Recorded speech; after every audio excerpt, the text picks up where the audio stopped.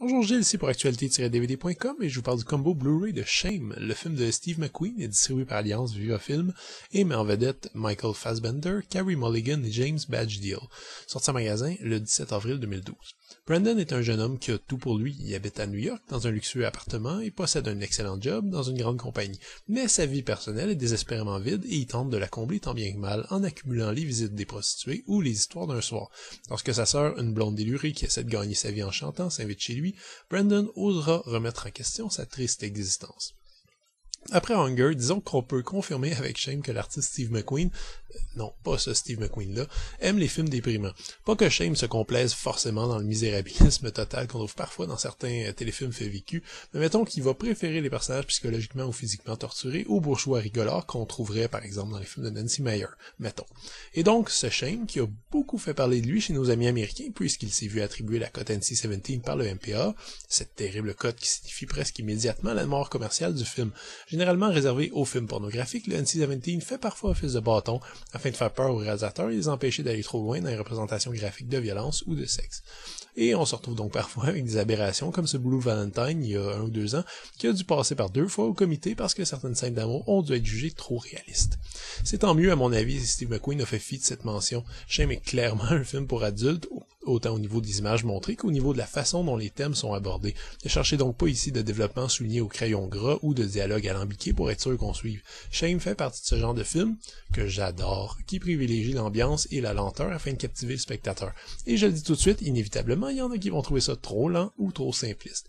Je dis ça comme ça, mais la simplicité de Shame est à mon avis totalement superficielle. En fait, les dialogues sont tellement minimes qu'au final, on retire de ce film un peu ce qu'on veut bien y mettre en réflexion personnelle.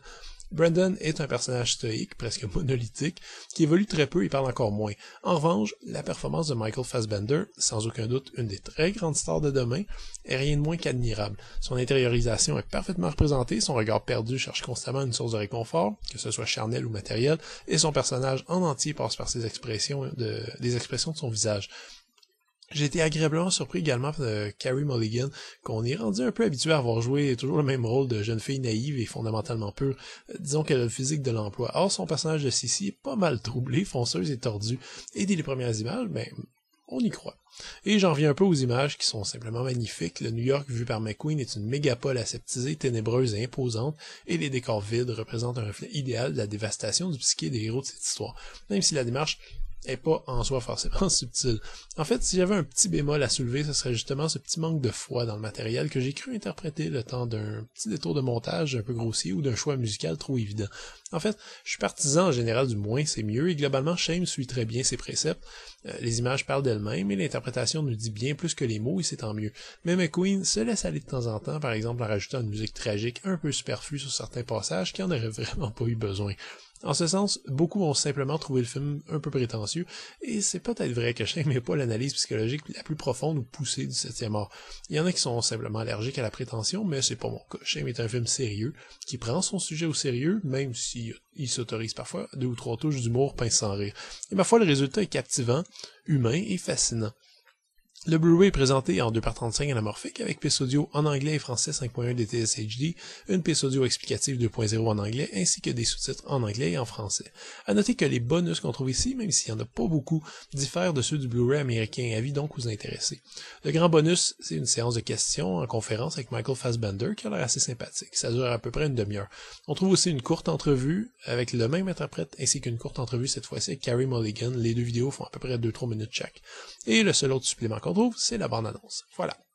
Shame peut être interprété de mille façons, c'est peut-être une des choses qui me plaît le plus dans le projet. On peut le voir comme le résultat adulte d'un traumatisme de jeunesse ou comme une analyse d'un 21e siècle contaminé par la pornographie et ses impacts sur les relations interpersonnelles, et ce ne sont que deux exemples. C'est un film quasi muet qui plaira pas à tout le monde, c'est sûr, mais qui recèle beaucoup de secrets à analyser. Si vous vous inquiétez de la nudité, mais il n'y a rien ici que j'avais pas déjà vu, par exemple, dans un film ordinaire de Paul Verhoeven, période pré-Hollywood. Euh, oui, il y a beaucoup de nudité et d'érotisme, évidemment. Euh, c'est un des sujets importants du film, mais Shame n'exploite jamais cet aspect gratuitement. Je vous rassure donc tout de suite. C'était Gilles. Merci. Bon visionnement.